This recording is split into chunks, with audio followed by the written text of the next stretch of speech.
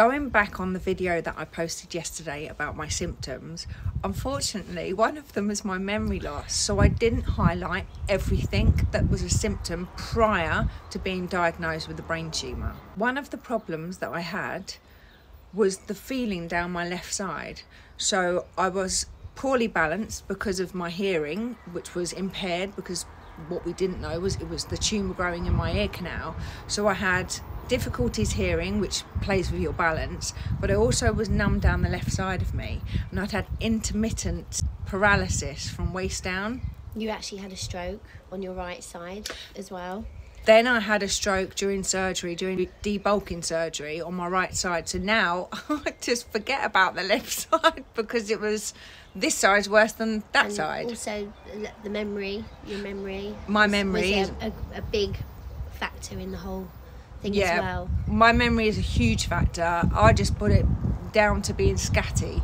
Um, uh, but now, I mean, I can't even put figures together. Yeah. I can't even string sentences together. My speech impairment, which is another one, um, I was becoming very much speech impaired. Is yeah. that what you call it? Kind of, yeah. It's like a mumble. You're more mumbling rather than you couldn't get. So yeah. Lisa couldn't get her words out, so it was it was really hard if she was to try and say a sentence, it, it was like all the words were kind of strung together. So, yeah. but but since then, obviously you're a lot better now. Yeah. Um, but you do still get the odd time where your words kind waffling. of waffling. well, you waffle anyway, this. But I mean, when you do when you do have that that point of the mumbling, I, I notice it a lot. Yeah. but it's all good. It's fine. Love her anyway. so for me, I would say the symptoms on tumor was the double vision, the hearing loss, um, unstable, unstable balance control, being numb down my left side.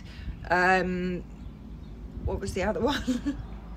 memory loss, not being able to memorize things. But again, you would, if you're going through menopause, you probably put it down to that. But what I will say is that I am going through the menopause, and it is quite difficult to di differentiate the difference between menopause symptoms and brain tumour symptoms. So don't get them confused. I hope this answers the question properly this time. Thank God I got my my what? my my alliance. Helper, carer, memory. I'm always here in the background.